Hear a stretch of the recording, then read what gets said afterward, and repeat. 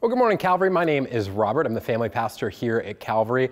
Uh, this spring, we're going through all of our staff and sharing our journey to freedom as we talk about the Exodus story and the people of Israel in the Old Testament searching for freedom uh, from their slavery in Egypt. We wanted to share some of our stories about how we found freedom in Christ. And my, my story to freedom is a little different than others, and in that I didn't have issues with drugs or alcohol or major life issues that God saved me from. But I was looking for freedom in, in terms of finding purpose and fulfillment in life. See, as a, high school student, I found myself at this stage in life where everyone was, was asking, you know, what my career path and life goals and things would be, and I didn't know. And, and beyond that, instead of asking what career path, what job, what, what direction I was going to go in that sense, I was underneath that asking bigger questions like, what is the purpose of life? Why are we here? Why do we exist as human beings? And plenty of people around me just labeled me as an angsty teenager and dismissed it and said, oh, well, when you figure out your career path, everything will fall together. Except I didn't have that sense. Uh, I didn't think that it mattered what job I could come up with because no matter what I thought about, there was no joy or excitement or passion there because I knew that there was an issue of what my purpose in life was. Now, underneath all this was my faith story, or really lack thereof. See, as a kid, I grew up in a Christian home. I attended a Christian school for several years, and I made a profession of faith and was baptized. And I truly believe that was genuine, but my faith stopped maturing at that point. Our family moved to Arizona and, and didn't really immediately get connected, and so I didn't grow as a follower of Christ. So as a teenager, I found myself in a place where my faith was more of a title than a relationship.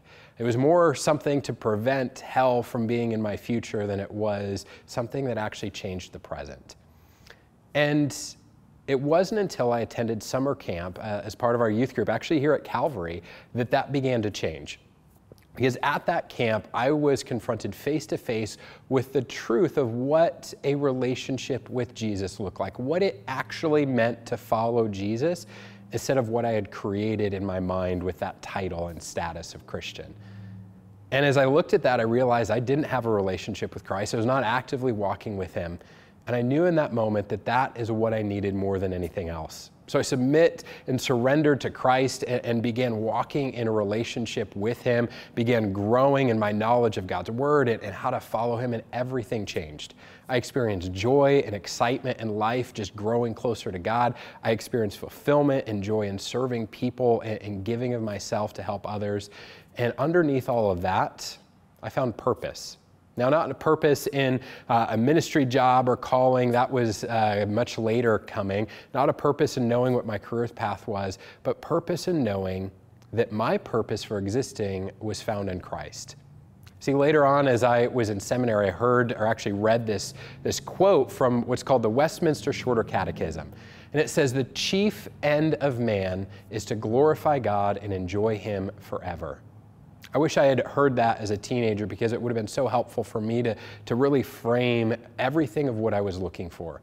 The chief end of all of our life is to glorify God and uh, for us to find enjoyment and fulfillment and, and purpose in that relationship with His Son Jesus. And that is how I found my freedom in knowing that purpose wasn't something I had to create or manufacture or come up with on my own but it's something that Christ had already created for me that I just needed to accept for myself. So today, no matter where you're at, where your uh, striving and searching for freedom lies, know that every aspect leads to Jesus. If you need freedom from addiction or life issues, Jesus is the solution there.